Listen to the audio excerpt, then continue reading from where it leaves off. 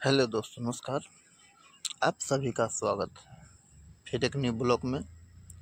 आज का टॉपिक है दोस्तों, हम साइड पे जाएँगे और आप लोग को दिखाएँगे जो कि हमारी साइड पे क्या काम होता है, किस आधार से काम किया जाता है और कैसे होता है ओके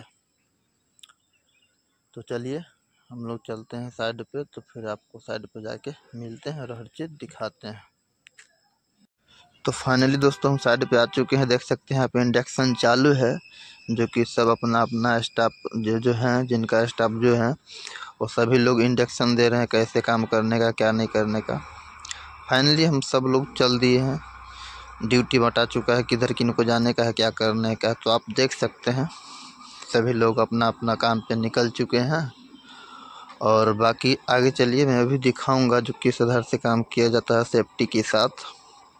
देख रहे हैं इतनी इतनी बड़ी बड़ी बिल्डिंग है तो पहले, दोस्तों क्या होता है ना, काम पे चढ़ने से पहले सबको बता दिया जाता है किस तरीक़ा से काम करना है, कैसे करने का है ना उसके बाद सभी लोग काम पे जाते हैं।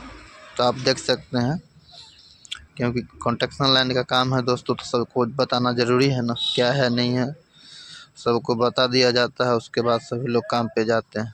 देख सकते हैं, इधर गिट्टी है, उधर सरिया है ये वीडियो में आपको हर चीज़ देखने को मिलेगा। प्रॉपर तरीक़ा से पूरी वीडियो देखिए। सब कुछ दोस्तों समझ में आएगा आपको।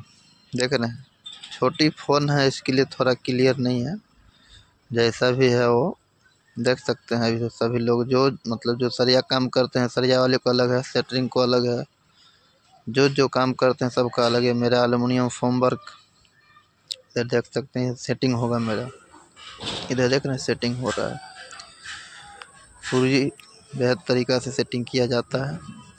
और देखेंगे तो सब हर चीज़ समझ में आ जाएगा। सरिया का विषय में आपको सेंटरिंग का विषय में जो भी है हर चीज़ मिलेगा, देखने को भी मिलेगा तो आप लोग ज़्यादा देखिए ज़्यादा से ज़्यादा वीडियो।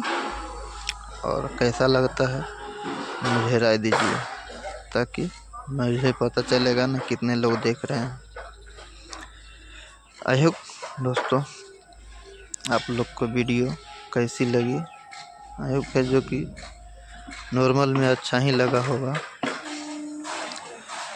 बाकी वीडियो आप देख के आपको पता चल ही गया रहेगा जो कैसा वीडियो है, क्या है, नहीं है। मिलते हैं फिर नेक्स्ट ब्लॉग में। जब तक टाटा बाय बाय। करते हैं। मिलता हूँ।